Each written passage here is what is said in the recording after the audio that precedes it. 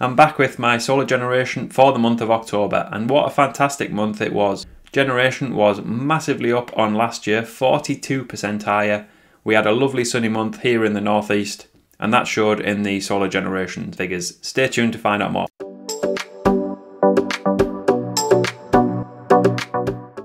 Hi everyone, I'm DanEVSolar. Welcome to my channel where I talk about all things electric vehicles, energy tariffs, solar panels and much more. Make sure you subscribe to the channel to find out more and also give this video a like if you find it useful. In this video I'll be discussing my solar stats for the month of October and it was an absolutely brilliant month in terms of solar generation when compared with last year. As a reminder of my system I have 10 panels on my west facing roof and 6 panels on my east facing roof giving a total size of 6.32 kilowatts peak and I've combined that with a GivEnergy 9.5 kilowatt hour battery and GivEnergy 5 kilowatt hybrid inverter. Let's get into the figures and I think this graph sums the month up perfectly. So we've only had three months throughout 2024 where the generation has been better than 2023 and this month has absolutely smashed last year's figure. So 204 kilowatt hours generated last year and 291 generated this year. So an increase of 42%, which is absolutely fantastic.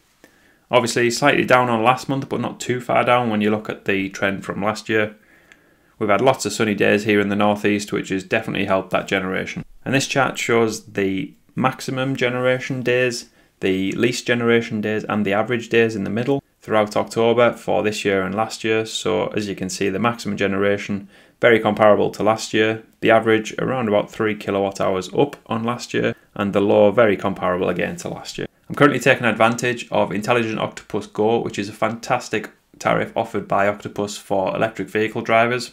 This charges just 7 pence per kilowatt hour for charging my EV and home battery overnight, which makes running my house and car very, very cheap. I've also combined that with the outgoing export rate of 15 pence per kilowatt hour for everything I export back to the grid. And interestingly enough, as of the 1st of November 2024, Octopus and now allowing the standard Octopus Go tariff to be compatible with the 15 pence per kilowatt hour outgoing tariff. So if you're on the standard Octopus Go tariff, make sure you get that changed to get the 15 pence per kilowatt hour.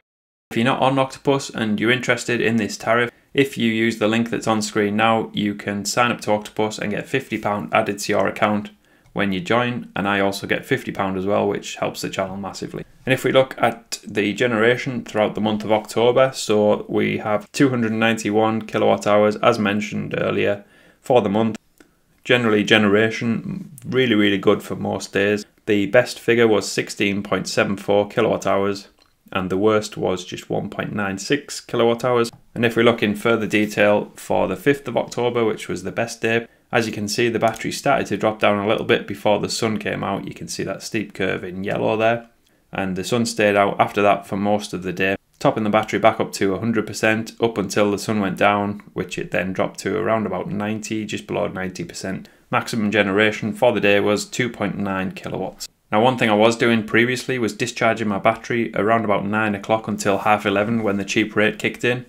I've stopped doing that now because the days are getting darker. In that mode, you could not run the house on the GivEnergy Eco mode without it drawing from the grid.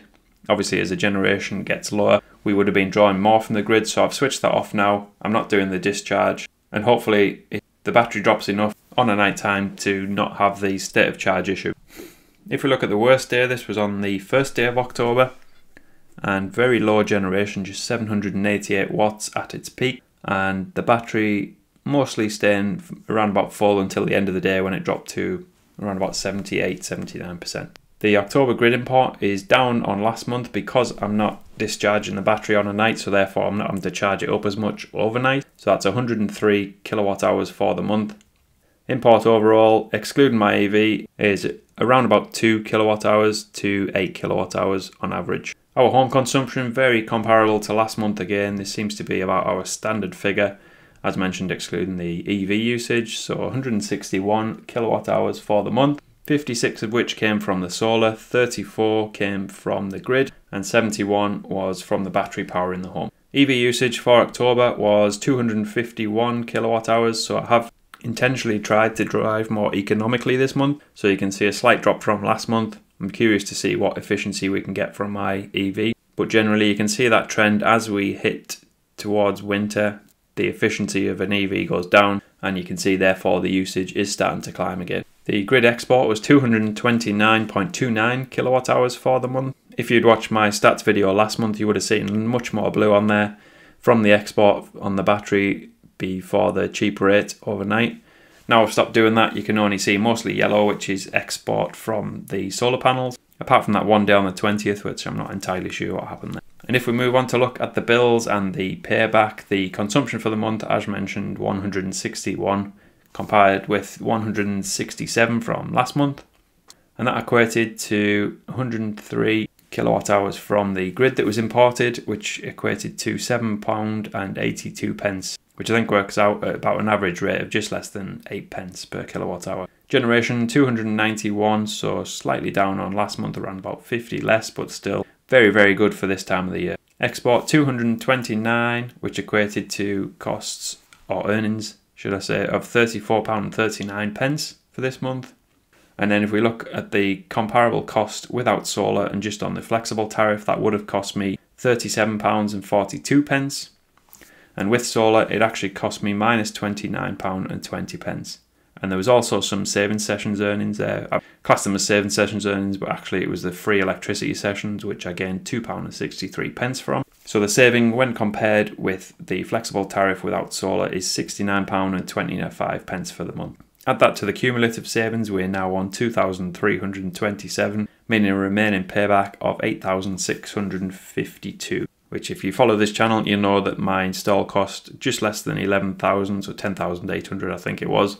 So we're starting to bring that down now after less than two years of usage. I always like to measure the car usage on here as well. So 251 kilowatt hours for the month, a cost of just £19 and 3 pence on the Intelligent Octopus Go tariff. Equivalent cost for my old diesel car is £1 and 41 pence per litre to fill that, which would have cost me £148 and 5 pence for the month, meaning fuel savings versus my old car of £129 2 pence. And if we add those savings onto the solar savings, we're £198 28 pence for the month giving cumulative savings of £4,503 now. And if we look at the bills overall, my standing charge has gone up as of the 1st of October to 70 pence per day, which is absolutely ridiculous. And that equates to £21.70 pence across a month. The charge for the electricity to power my home battery and also charge my electric vehicle is £26.85. pence. Take off the export, which I earned £34.39. pence and then add on the gas standing charge, which has also gone up and costs £9.20 for a 31 day month.